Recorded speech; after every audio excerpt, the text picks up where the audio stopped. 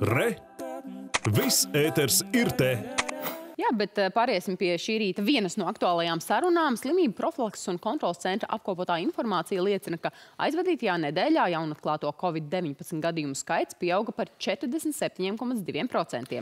Nedēļā līdz 16. janvārim nedaudz samazinājies stacionēto pacientu skaits. Vidēji dienā slimnīcās nonākot 65 cilvēkiem. Tomēr lielākā daļa pacientu stacionēta ar Covid-19 kā pamata diagnozi. Un par turpmākajām prognozēm vīrusu izplatībā šorīt uz sarunu mums pievienojas epidemiologs epidemiologs Nikita Trojānskis. Pievienojas attālināti. Labrīt! Labrīt.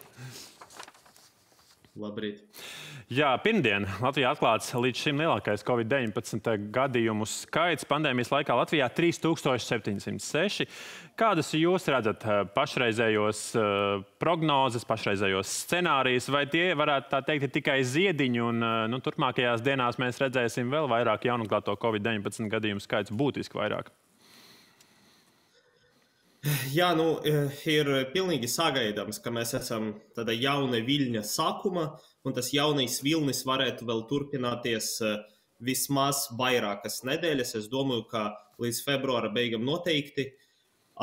Bet, un es domāju, ka Latvijā tas vilnis būs ilgstošāks nekā citas valstis, kamēr citas valstis tas uziet līdz augstajam skaitlim un tad uzreiz iet uz leju. Latvijā skatīties uz tā saucamo imunitātes sienu, jeb to cilvēku skaitu, kas uh, ir pilnībā pasargāti un kas ir daļēji pasargāti un kas necik nav pasargāti, tomēr pie mums ir, teiksim, pat desmit reizes vairāk tādu cilvēku, kas vispār necik nav pasargāti salīdzinot ar, piemēram, Lielbritāniju, kura tas vilnis bija relatīvi ātrs. Mhm. Kāds vispār ir tas, nu, tie, tie galvenie secinājumi, ko mēs par omikrona paveidu šobrīd jau varam izdarīt un par, par, par tieši tā spēju ātri izplatīt vīrusu?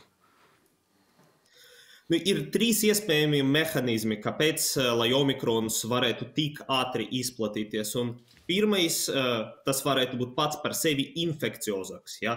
kā viens cilvēks inficē vairāk citus cilvēkus. Otrais iemesls ir saistīts ar to, ka tas apiet imunitāti apkārt, un tāpēc no vīrusa perspektīvas ir uh, vairāk cilvēku, ko vīruss spēj inficēt. Un trešais iemesls ir tas, ka vīrusam ir saīsināts inkubācijas periods. Tas nozīmē, no brīža, kad cilvēks inficēs, līdz brīdim, kad cilvēks var inficēt pārējos, paiet īsāks laiks, un tas nozīmē, daudz ātrāk veidojas jaunas infekciju paudzes.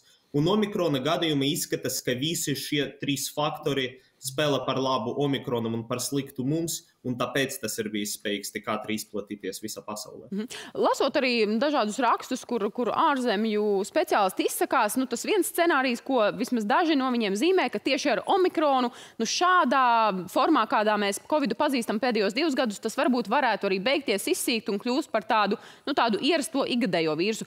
Cik tā prognoze šobrīd ir ticama? Nu, cik daudz ir tādu argumentu, kas spēlē par labu tam, ka visticamāk tā arī tiešām varētu notikt? Nu, no vienas puses, tas lielais nezināmais ir uh, šī vīrusa evolūcija. Ir pavisam noteikti ticams, ka pēc pusgada, pēc četriem mēnešiem var attīstīties jaunais celms, kas atkal būs spējīgs apiet uh, apkārt cilvēku imunitātei un izraisīt jaunus viļņus. No otras puses, mēs redzam, ka arī imunitāte, kas cilvēkiem ir no deltas vai no alfas vai pat no pirmā celma, joprojām diezgan labi aizsarga no hospitalizācijas ar omikronu. Tāpēc tiešām ir ticami, ka nākamajos viļņos mums, mums vairs nebūs uh, daudz hospitalizāciju, un mēs varēsim uh, inficēties, nebaidoties, kā mēs nonāksim slimnīcā. Tāpat laikā joprojām ir sagaidāms, ka tas būs tā saucamā uh, endemisks epidemisks vīrus. Tas nozīmē, ka ik pa laikam tas izraisīs tik lielus saslimšanas viļņus, ka sabiedrība to jutīsim, jo vienlaicīgi daudzi cilvēki slimos. Runājot par hospitalizāciju un eh, stacionētiem pacientiem slimnīcās, nu pēdējās nedēļās tas eh, slimnīcās esošo skaits bija apmēram ap 600 svārstījās. Vakar jau pēdējās dienās ir nedaudz virs 600, eh, vakar bija 645 vīrusu skartie slimnīcās. Kā jūs redzat, cik daudz, un teiksim, šajā omikrona vilnī varētu būt tas lielākais skaits, nu tajās, piemēram, februāra beigās ar stacionētiem pacientiem tieši slimnīcās? Ja, nu, es negribu nevienu, nevienu biedēt, tas nekad nav mans mērķis. Bet tas, ko es tulīt teikšu, ir tieši ar mērķi, lai izskaidrotu sabiedrībai, ka tagad nav laiks padoties. Tagad īstenībā ir laiks saņemties. Jo izskatās, ka pat ja omikrons ir maigāks, un izskatās, ka tas ir vismaz pa trešdaļu maigāks nekā delta, tad tāpat daudz cilvēki nokļūs slimnīcas. Un, diemžēl, arī būs cilvēki, kas mirs, lai arī tiešām tā miršanas slimnīcas ir daudz retāk omikrona gadījumā nekā deltas gadījumā. Un, piemēram, pat no vakardienas 3400 vai 700 inficētiem cilvēkiem joprojām, ja jūs paskatāties, kāds procents starp vakcinētiem nokļūst slimnīcā, kas ir vienmēr daudz mazāks nekā procents starp nevakcinētiem, kas nokļūst slimnīcā, tāpat no vakardienas inficētiem cilvēkiem, kad ir 100-150 cilvēki, ļoti iespējams nokļūst slimnīcā. Tāpēc uh, es domāju, ka ap februāra uh, vidu mēs varam sagaidīt jau ļoti augstas hospitalizācijas, virs 1200, 1300 cilvēkiem. Pēc dažām prognozēm, atkarībā no tā, kā mēs cīnīsimies ar šo vīrusu, mēs arī varam pie, piedzīvot arī 3000 hospitalizācijas slimnīcas. Mhm. Eh, jā, runājot vēl par vakcinācijas lomu un nozīmi, eh, skaidrs, ka tas, ka arī arvien vairāk slimo vakcinētie cilvēki, nu, speciālisti ir skaidrojuši, ka tas ir loģiski, jo vienkārši lielāka daļa populācijas ir vakcinējusies un kaut kur jau tam vīrusam jāizplatās. Bet eh, kā jūs teiktu, cik liela nozīme tieši tai vakcinācijai ir tam, kādus scenārijus mēs šeit Latvijā piedzīvojam? Un, teiksim, tas, kā mēs izskatāmies, piemēram, uz citu Eiropas valstu fonu, jo skaidrs, ka mums palīk, patīk tur salīdzināties ar Zviedriem, kuriem it kā viss ir brīvāks, jā, un tajā pašā laikā, nu, ir kaut kādi objektīvi objektīvie rādītāji, kur tā salīdzināšana droši vien nu, nav pareiza. Eh, noteikti vakcinācija joprojām ir atslēga. Iemesls, kāpēc teiksim, tas viss vilnis ir bijis relatīvi ciešams, saistīts ar to, ka Lielbritānija uz šo brīdi vairs nav neviena, nu varbūt 0,5% no visiem iedzīvotājiem vecuma virs 60 gadiem ir bez jebkādas aizsardzības. Tas nozīmē, ka tikai viens no 200 cilvēkiem. Visi pārējie ir vai nu vakcinējušies, parasti jau ar trīs devam, vai nu ir izslimojuši un vakcinējušies. Un Latvijā tas imunitātes līmenis vēl nav tik, daudz, tik augsts. Mums ir uh, aptuveni 90 tūkstoši seniori, kas nav vakcinēti. Un tāpēc, protams, viņi ir vislielākā riska grupa. Tāpēc es aicinu visus bērnus, mazbērnus, nu parunājiet vēlreiz, varbūt aizvediet savu senioru uz primāro vakcināciju. Un, protams, mēs arī redzam, ka balstu vakcinācija būtiski palielina aizsardzību pret hospitalizāciju. Uh, par aptuveni 80% ir pasargātāks cilvēks pēc trīs devām nekā cilvēks, kas vispār nav uzsācis vakcināciju. Un, un tādēļ arī mums šis uh, saslimstības vilnis varētu būt tāds ilgāks, ja, kā jūs sarunas sākumā teicāt. Jā, ja, es, es domāju, ka uh, mēs esam pieraduši skatīties uz citām valstīm un ticat, ka nu, Latvija būs līdzīga. Bet, uh, manuprāt, tas oktobra vilnis tomēr ir pierādījis, ka Latvijā ir iespējamas situācijas, kur mēs esam vissliktākajā uh, vietā pasaulē infekciju ziņā un arī viena no vissliktākajām nāvju un hospitalizāciju ziņā. Un, uh, man ir bažas, un šeit man daži eksperti nepiekrīt, bet es domāju, ka arī Latvijā šis vilnis būs tomēr izteikti, izteikti sliktāks nekā daudzas citas valstis, nekā daļa no citu valstīm. Mm -hmm. Jā, ņemot vērā šo visu, vēl īsi vēlamies pajautāt, kā jūs vērtējat eh, valdības pēdējos lēmumus. Eh, viens ir par to, ka atteikšanās no auduma maskām nu, lielākajā daļā gadījumu un, un pieprasot konkrēta tipa medicīniskās maskas vai arī šos respirators, cik tas var būt palīdzoši? Noteikti mēs zinām, ka koronavīrus izplatas gaisa un respiratori ir efektīvs rīks, kā samazināt šo izplatīšanos. Medicīniskas maskas arī, bet nu, daudz mazāk nekā respiratori, bet daudz vairāk nekā tas auduma maskas.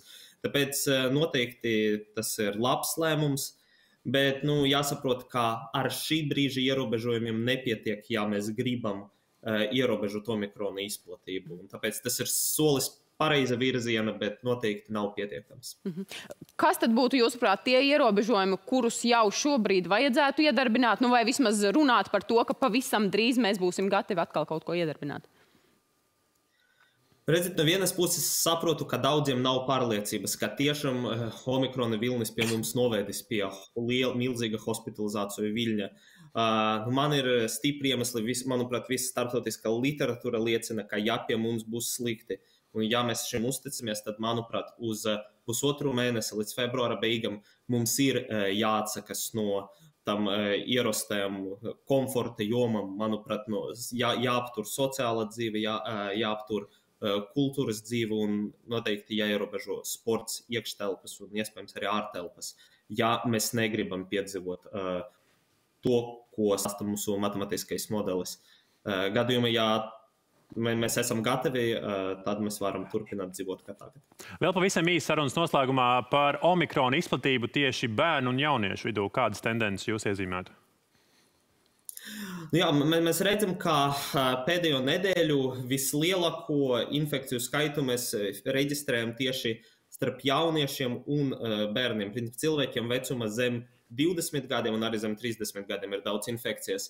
Un es domāju, ka tas arī novedīs pie tādā uh, Eh, mentāla slazda, ka mums šķitis, ah, tad šonadēļ ir, ir liela infekciju izplatība, bet pēc piecām dienām mēs neredzam baigu pieaugumu slimnīcas.